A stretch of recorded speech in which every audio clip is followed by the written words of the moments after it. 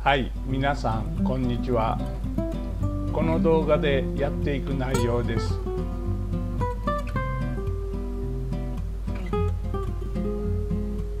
はい。それではやっていきましょう。それでは制作のことに触れていきたいと思います。まずはラズベリーパイと XB を接続したステーションのような機能をする基板ですね。このラズベリーパイにはウェブサーバーが入って、まあ、携帯との制御を中継する役目をしているわけです。まあ、回路は簡単です。まあ、こんな風な回路になってます。それで、ま、こういう風にしてダウンロードのボタンがありますので、ま、こちらから回路図を開いてください。ま、このような回路図が出ると思います。右側から説明していきますと、まあ、ここに XB があります。まあ、20ピンですよね。スルーホールタイプを使っています。ここに LED があるんですけども、これはピンを変換するための基板、まあ、その上に乗っかっているので、まあ、図面には書いてありますけども実際手作りの基板の方に直接乗っかっているわけではありません。そしてこちらにスイッチともう一つここに LED があるんですけども、ま、こちらは後から付けたものです。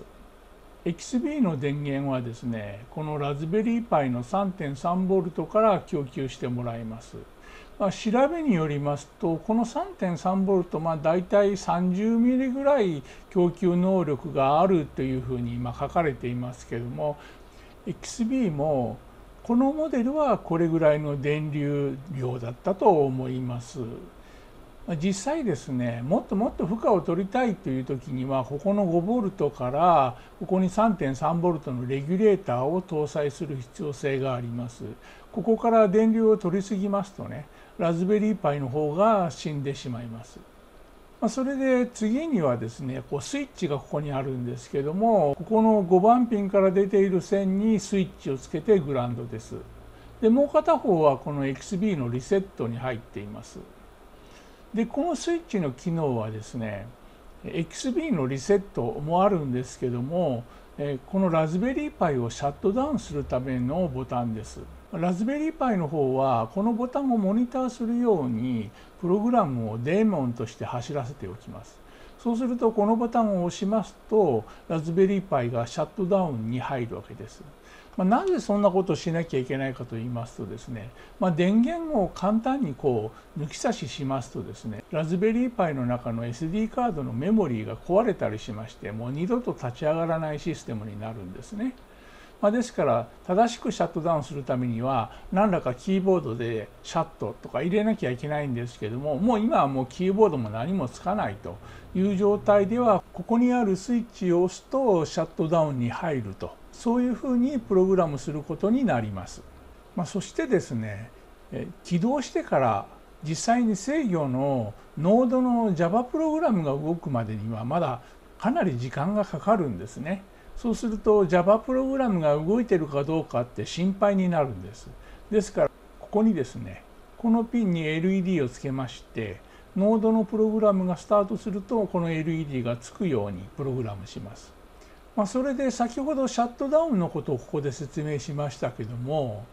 シャットダウンして電源入れたままこのラズベリーパイは停止するわけですね。で停止している状態はラズベリーパイの緑の LED が消灯するので、まあ、よくわかるんですけどもまた再スタートする時に電源一度抜いてまた入れ直すというふうなことをしなくてもですね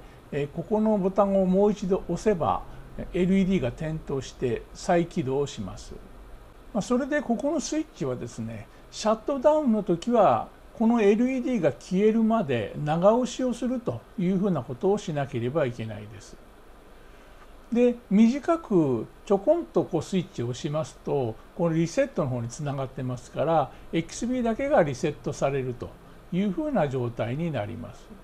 そして XB との間はシリアルの2本線送信側と受信側これしかつなげていません。RTX、GTX の制御もこの XB 側もあるいはこちらのラズベリーパイ側もできるんですけどもこの XB 側で CTS、RTS の制御はもうしないっていうふうにフラッシュロムに制御書き込みをするので、まあ、基本的に必要がなくなるので配線もしていません。まあ、それでここに抵抗が2つついているんですけどもこれは必要です。まあ、これがないとですね正しく起動しないです。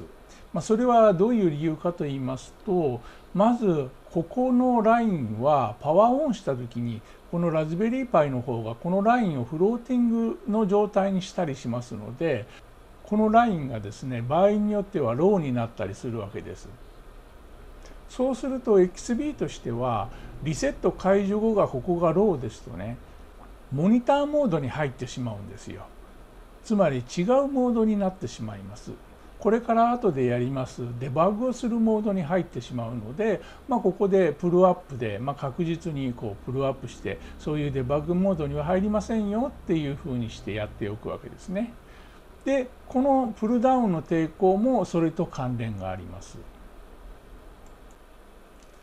まあ、こちらのですね今回使うその資料の267ページあたりにですね XB ブートローダーっていうのがありまして、まあ、ここにですねそういうデバッグ用のブートモードに入るための条件がこう記載されているんですよね。まずこの DTR スリープはローにしなさいと、まあ、そして RTS をハイにしなさいと、まあ、そしてここに「send a serial break」っていうふうに書いてますけどもこれはラズベリーパイから XBee に対して TX のライン送信のラインですね。XB の方の受信のライン、まあ、これをですね、まあ、ローにしろというふうに書いてるんですね。まあ、そうして電源を入れてって書いてますけども、まあ、電源を入れるというよりはリセットを押せばいいと思うんですけどもそのような条件の時にこの115200のボーレートで、まあ、ブートローダーが動き出しますというふうなことを書いてますね。実際にはこのシリアルのラインを元に戻しまして開業キーをエンターするとシリアルラインにブートローダーのメッセージが出てきます。まあ、ですからここで DTR ローにしておいて逆にここのシリアルのラインをハイにしておけばブートモードには入らないしこの状態でローにすればブートモードに入るというふうなことですね。RTS はつながっていません。つながっていないので内部プルアップで、ま常にハイになっているという状況です。基板はこんな風に上から見るとなっていまして横から見ますと、ま、スタッキングのコネクターでこうスタックされていると。配線がものすごく少ないので、ま、簡単な配線で終わっています。ラズベリーパイを取り除きますとねこんな風に、ま、ピンが出てるという風な感じです。まあ、そしてラズベリーパイの方はコネクターは従来は部品面にピンなんですけども、まあ、今回は裏側にソケットをつけているとそういう状況で作っています。基本ソケットの方向とか、まあ、その辺はま回路には影響ないので、まあ、皆さんあの簡単な回路ですから自分で実装に工夫をしてみるのもいいかと思います。